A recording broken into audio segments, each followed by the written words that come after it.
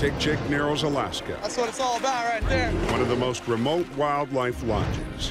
You walk off this land and you're in the wilderness. Here, travelers pay top dollar to experience the magic of the last frontier.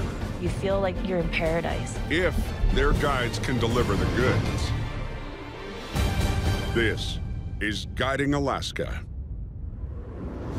The last guest almost long gone, and winter well on the way, the Tikchik crew hustles to beat the weather, batten down the hatches, and say farewell till next year. Two years ago, we had so much snow, we had to take the tractor and make places for us to go, and it was like six, eight